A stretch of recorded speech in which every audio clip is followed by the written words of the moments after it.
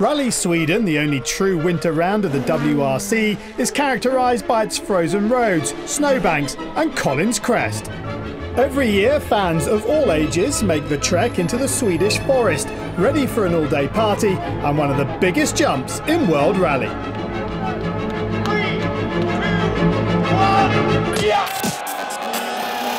Colin's Crest is a, a special place in Rally Sweden. It's become iconic over the years. Tens of thousands of spectators flock there to watch the action. We come for the party and uh, the great crowd. It's, it's good for the fans, it's good for the show. If you're going there with a either a comfortable lead, you'll not be pushing too much. If you're chasing, for sure, you might want to try that extra little bit. If you try to make a big jump, you can you can manage that, but you have to be very precise your line. That's why I always been taking a bit more calm on this place. Named after Flying Scot and 1995 world champion Colin McRae, the jump has become a pilgrimage for all rally fans. It's like a festival. It's a great feeling here. One of the best parties in Rally Sweden, yeah. Even when you, you arrive to 200 metres beforehand, you're looking at it, you can see the gantry, you can see uh, the, the, smoke from the bumper and the barbecues, and uh, you can almost smell the sausages cooking there and when you get to the top of the crest. On the straight, when you have 150 metres before your approach to the jump, you can get the feeling that there's a lot of people and great atmosphere. So it's kind of a place that in the rally it's already like you start to feel the goosebumps bit on yourself. From the early hours of the morning, the crowd gets into the party spirit with plenty of food and drink, fun and games, as well as lively discussion about who will jump furthest.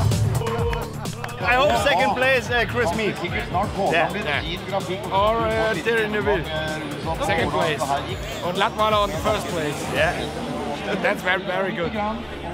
Mads Östberg won the award for longest jump, and although his Fiesta landed just short of the record, flying a WRC car 44 metres takes nerves of steel.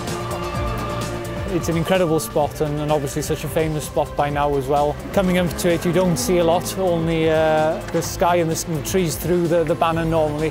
And you just have to point the car in the direction you want to land and, uh, and hope for the best. Basically if you approach it you have the uh, straight road, you have a jump, then the road turns immediately left, immediately right. You have to take your line from the right, heading to the left, but the car needs to be straight and heading to the left over the jump.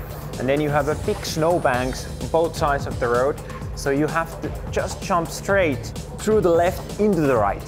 It's a tricky one because you know just after we land there's a, there's quite a, I won't say slow but there's a medium speed right corner that you need to brake quite quickly for when you land so yeah you want to fly you want to do uh, put on a, a, good show but at the end of the day you don't want to stuff it in the snowbank uh, for, for no reason.